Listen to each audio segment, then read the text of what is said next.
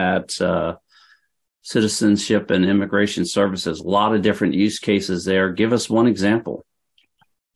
I think the most recent one, you know, people tend to think of immigration as fairly static in terms of, of its implementation for by law and statute, things like that. And there's some truth to that. Um, Until however, there's 12 policies that change, right?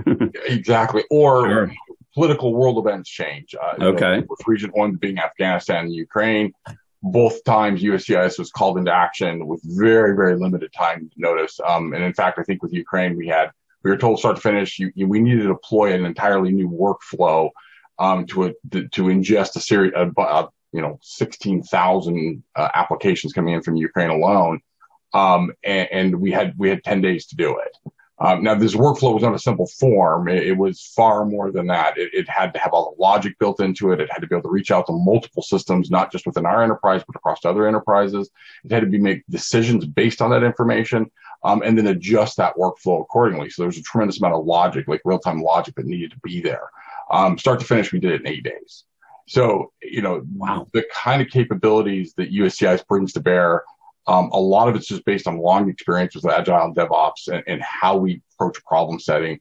Um, but I can honestly say when this, when they first dumped this on us, the first response you got from, you know, anybody in USCIS was like, oh yeah, yeah, we can do that. It, it, it's that kind of can do, will do attitude that, that we have really come to see that cloud enables um, there's a few problems that we haven't been able to solve that, that, that cloud doesn't provide some level of backing for us to do it under.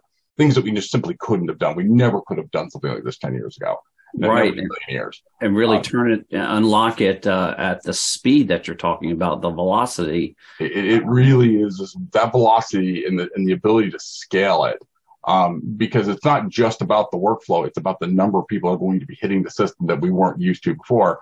You know, on an average month, USCIS sees uh, externally about 16 million people or so um, hitting our systems at form, in different forms of fashion. That's kind of our service community, if you will. Um, plus, you know, all of our internal clients, our internal users. So, you know, for us though, that's just a normal day of doing business. So even though this is a massive spike in, in, in, in, load on us, honestly, the cloud, the way we scale, the way we, we were able to, you know, push out the, the various services and functions across the various, you know, uh, service account or services and platforms that we utilize, just, it, it was a normal day. It's like, oh, yeah, we did that. Now let's go back and do something else.